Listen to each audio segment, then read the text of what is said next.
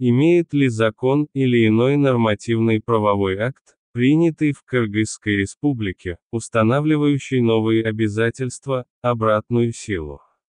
Согласно статье 6 Конституции Кыргызской Республики, закон или иной нормативный правовой акт, устанавливающий новые обязанности или отягчающий ответственность, обратной силы не имеет.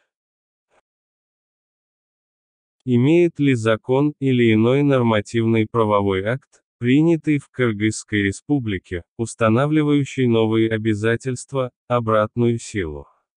Согласно статье 6 Конституции Кыргызской Республики, закон или иной нормативный правовой акт, устанавливающий новые обязанности или отягчающий ответственность, обратной силы не имеет.